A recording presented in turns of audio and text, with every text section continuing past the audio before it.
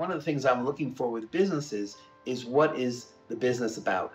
A uh, what is the product they're selling? Or more importantly, what differentiates that business from another business? What is their unique sell?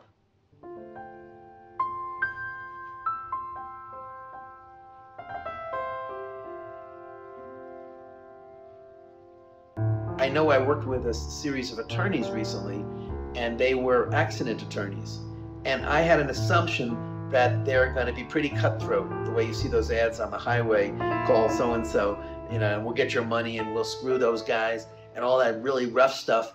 And I was working with them trying to give them a sense of, um, visually, a sense of structure and stature. And I showed the client some of the locations I was thinking about, and they said, that's not us.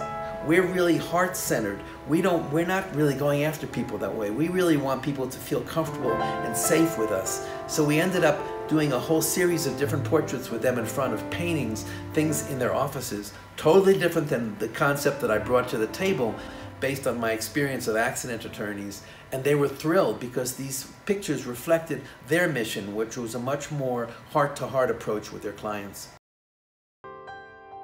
People ask me what's corporate branding photography and how is that different than photographing, let's say, a musician. Again, with corporate branding, I want to understand what is your brand and what makes your brand unique. Once I understand that, I will often brainstorm with the client. We'll just come up with ideas. For instance, I may be working with a, a medical practice and their brand is, is service, quality service. And very and very fine products.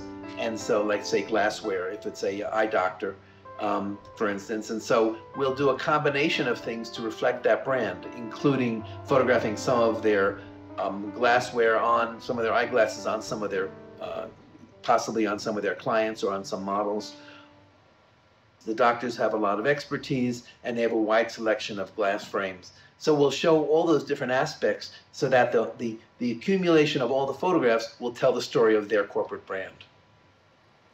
How I approach a business portrait is very different than how I would approach a profile picture for uh, an individual who wants something for their Facebook or their um, you know Instagram page. Basically, I find out what they're trying to do as a professional. Uh, contrast that to someone who is a dancer, uh, and I'm doing a portrait for their Facebook page. There, it's maybe showing passion, just showing their exuberance about being alive and something with their hands or their body, so there's movement involved in it. Totally different approach.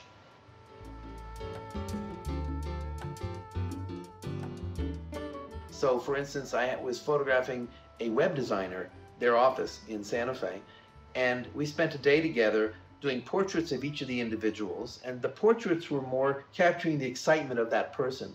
But I was photographing the people doing what they do. There was a graphic designer. Um, there was someone who was more product oriented. There was the CEO of the company. Each of those people had a different, I had a different approach to how I was capturing them.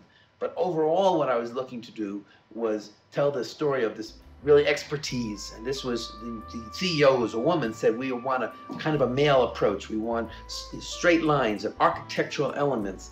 So I photographed the building and the architectural elements of their building, and I posed them on a stairwell, showing the architectural elements behind the individual people.